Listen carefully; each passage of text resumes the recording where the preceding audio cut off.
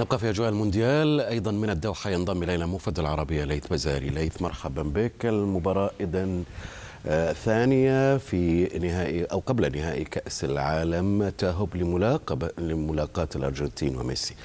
فرنسا والمغرب الأجواء كيف هي؟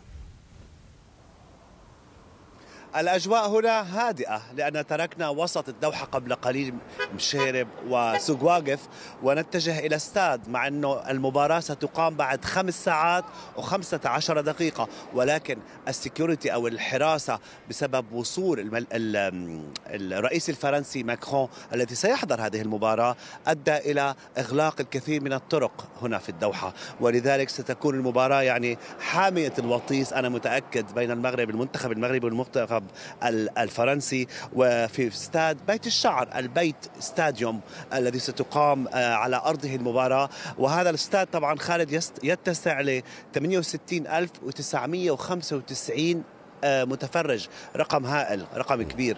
ولكن شاهدنا الكثير من المغاربة أكثر بكثير من المشجعين الفرنسيين الذين استقلوا حافلات من وسط الدوحة متجهين نحو استاديوم أو استاد آه، آه، البيت.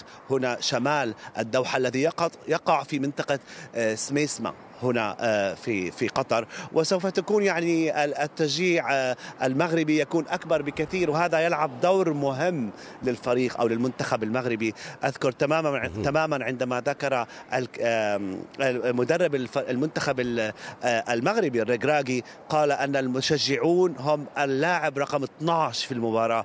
وهذا صحيح شاهدنا الكثير عندما كان هناك هتافات واحتفالات وتشجيع للفريق يؤدي ذلك إلى تسجيل أهداف نعم. هناك في مرمى آه، الخصم أو المنتخب الذي يلعب معه المنتخب المغربي. يعطيك العافية. شكرا جزيلا لك. من الدوحة مفيد العربية ليث بزاري